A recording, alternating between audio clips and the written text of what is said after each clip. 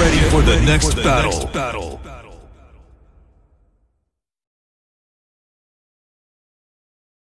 Hey everyone, it's your boy Nick here, and welcome back to my channel. So last week you saw me cover one of King's grappling sequences, and today I'm gonna cover another sequence for you. If you haven't seen the first video, please, I'll put a, a card up here so that you can check it out. And please do that one first, and then without further ado, enjoy the video.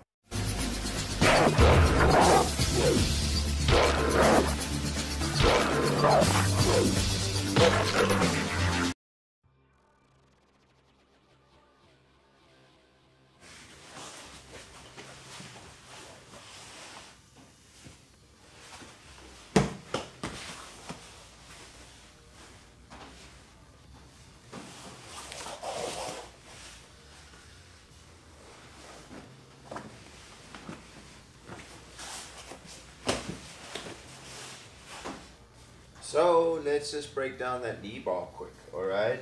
So the legs are open after the takedown. Pretty cool uh, opportunity to strike quick if we have the chance, okay? What I'm gonna do first is that this knee is gonna slide over his hip and I'm gonna grab that leg, okay? This way I can sit on on my opponent and, carrying my weight all the way through. Okay. See here, I keep it on the inside. I'm not in the in the game now itself. You see it on the outside. Um, that's cool and all, but this is easier for the transition one, and it's easier to keep the hip pinned down. Okay, and it can give us more more uh, control over the leg, so we can complete the knee bar. Cool, and then from here, obviously sit down and finish it. Okay? So, boom, we hit that.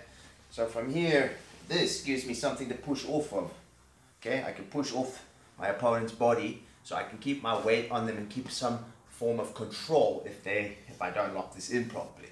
So that way I can go into the side control position and pin down my opponent and go for that Americana slash key lock maneuver. Okay, boom.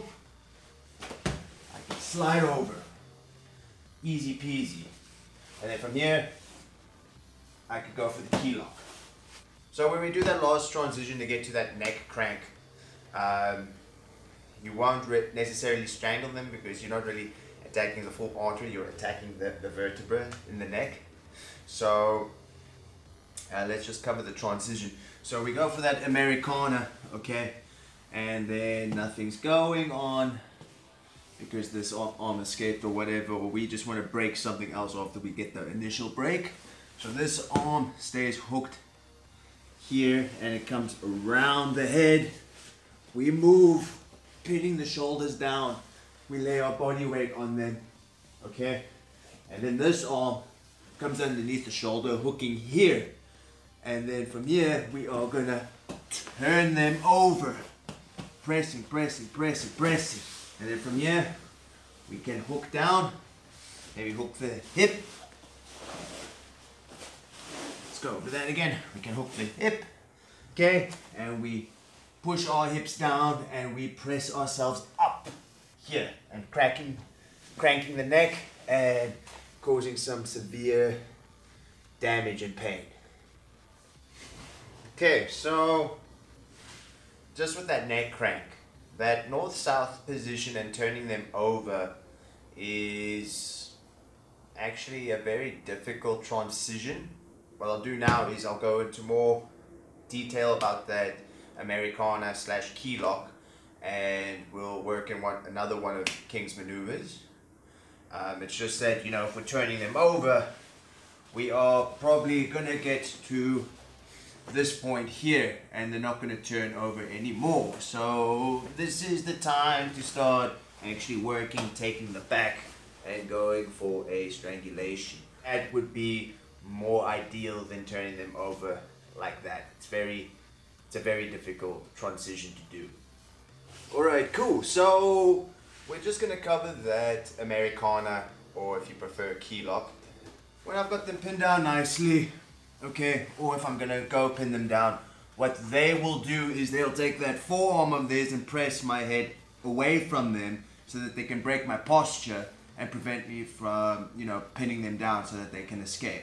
So once they give me that, they've given me that. So if I'm in this position nice and tight or I'm trying to close up, they've given me that arm to attack. And then from there, I grab my wrist, I grab their wrist, no thumb grip, no thumb grip, or uh, whatever is comfortable for you, but no thumb grip is more controlling. And then of course I am going to pull in tight and I'm going to switch my hips and then break.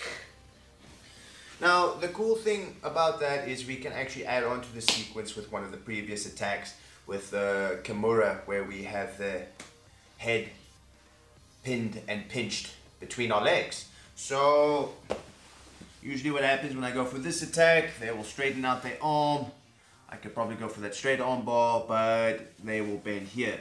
Okay, so this way I can hook their arm in nicely. I can press down on their face, switch up, pin them, and of course switch arms, and then break and finish the attack.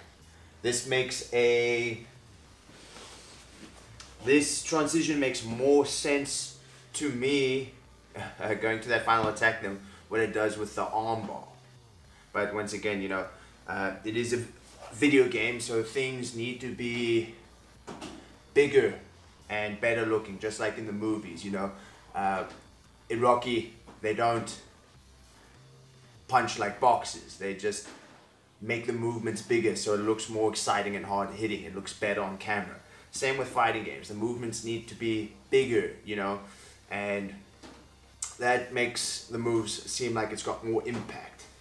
But yet again, uh, I'm trying to demonstrate these so that you can apply them realistically.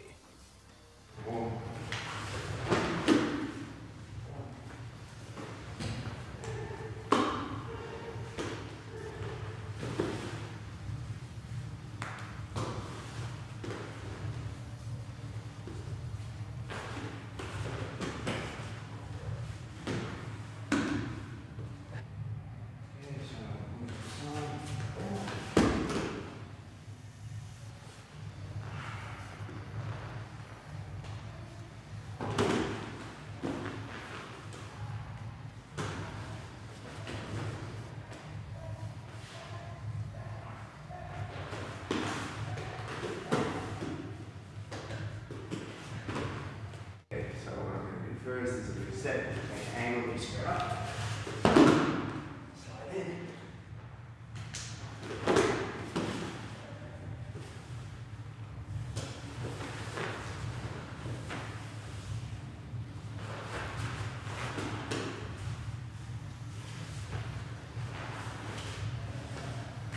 Go. Step at the angle. Boom. Slide across. Okay. Ooh. Down. Now here. Boom. How would you defend? Straight.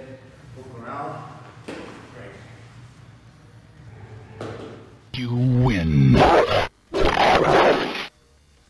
Hey guys, thank you for watching the video. Please hit subscribe, hit that like button, and hit the bell notifications. It's a small click for you, but it's a massive help for me. Thank you once again, and have a good rest of your day.